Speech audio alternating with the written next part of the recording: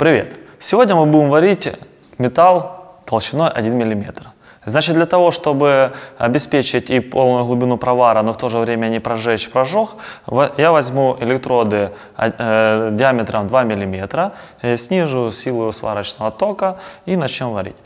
Обратите внимание, когда вы будете выполнять сварной шов, э, тонкий металл сплошным варить очень сложно, поэтому нужно будет делать небольшие прерывы. И для того, чтобы у вас не было пропусков в металле, если вы хотите все-таки проварить сплошняком, то не забывайте, что в тот момент, когда вы оторвали э, дугу, нужно будет электрод вернуть в то же самое место. И в то же время, когда вы отрываете дугу, нужно добиться такого момента, чтобы э, сварочная ванна не закристаллизовалась. Потому что если уже застынет металл, и вы будете туда добавлять электрод, вы будете варить сверху шлака.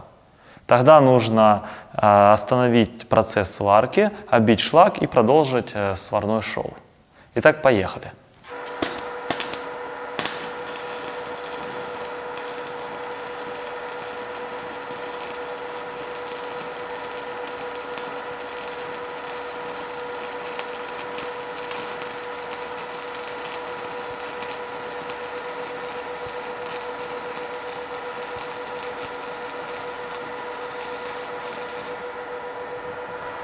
Ну а дальше я проварю шоу уже с отрывом дуги.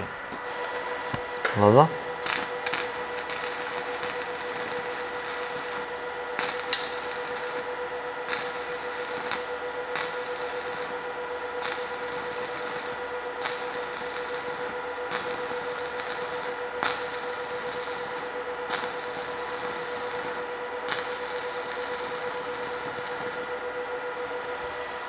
Итак, вы видите, вторая часть шва проварена с отрывом. И самое главное, помните, что вы должны контролировать сварочную ванну.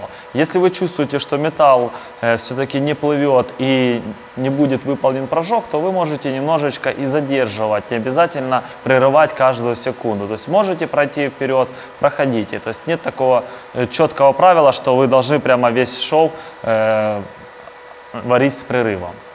Первую часть, как вы видели, я проварил э, без отрыва. С обратной стороны мы видим полную глубину проплавления, поэтому э, шов можно отнести к качественно. Сразу хочу обратить внимание, первая часть э, шва, то есть начало, первые 5 мм и последние 5 мм качество не учитывайте. Даже когда варят контрольные образцы, эти части обрезают. Как же все-таки добиться качественного шва от самого начала и до самого конца, я покажу в следующих выпусках. У вас сразу возникнет вопрос, э, какую же силу тока лучше выставить. Смотрите, я выставил 60 ампер, но силу тока я подбирал э, по своим ощущениям, потому что утверждать, точно ли выдает э, сейчас сварочный аппарат 60 ампер, либо не выдает, я не могу. И в любом случае эти показания могут немножко расходиться. Значит, я использую электрод 2 мм E46 фирмы Monolith. Опять же, э, все зависит от производителя, и не обязательно в вашем городе могут быть качественно продаваться электроды, не обязательно этой фирмы. Просто я констатирую факт э, тех электродов, которыми я пользуюсь. Значит, э, часто еще задают вопрос, как же приварить тонкий металл к толстому. Обращаю ваше внимание, что режимы должны быть такие же, как бы вы варили тонкий металл. То есть не нужно выставлять силу тока по толстой пластине. Очень часто допускают э, студенты ошибку, когда выставили режимы по пластине, та, которая толще. Вы таким образом просто спалите тонкую пластину. Вам нужно э, расплавить и сварить металл, который тоньше.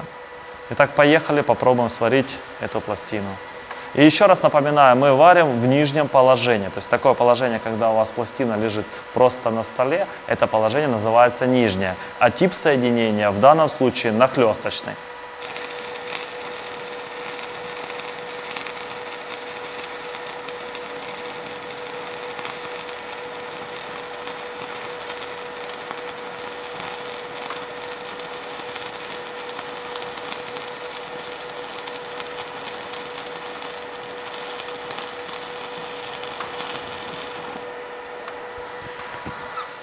Так обратите внимание, в данном случае у нас был тонкий металл сверху, и э, когда вы расплавляли металл, перенося его на более толстую пластину, вам было достаточно комфортно.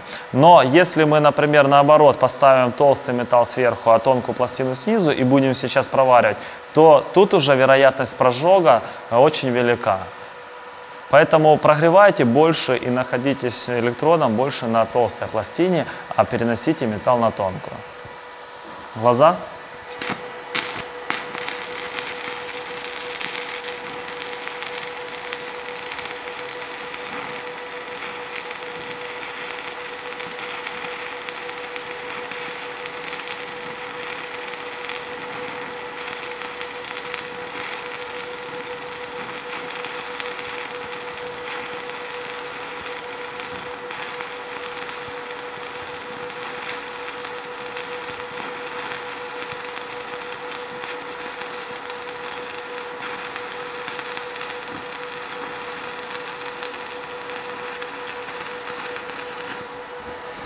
На сегодня, пожалуй, это все.